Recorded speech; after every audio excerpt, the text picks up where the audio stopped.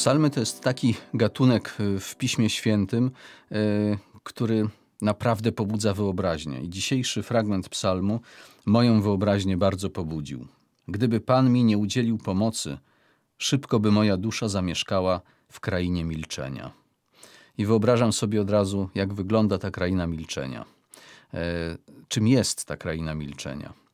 E, czy to czasem nie jest tak, że my rozmawiając, mając mnóstwo znajomych na Instagramie, Facebooku, Twitterze czy innych mediach społecznościowych, rozmawiając, prowadząc ożywione dyskusje, mówiąc, mówiąc, mówiąc, oglądając mnóstwo filmów, słuchając dźwięków, e, które dochodzą do nas, e, a czasem wręcz je prowokujemy, czy czasem właśnie nie jesteśmy w krainie milczenia, w krainie, w której nasza dusza milczy, a ciało Y, rozgrzewa się, krzyczy, nawet y, wrzeszczy. Kraina milczenia to jest kraina, w której człowiek samotny próbuje pozbyć się tego strasznego uczucia, że y, otacza go pustka, otacza go cisza i on nie może nawet swoim głosem tej ciszy naruszyć. To jest kraina milczenia. I w tej krainie milczenia, która może być największą katorgą, jest z nami Bóg.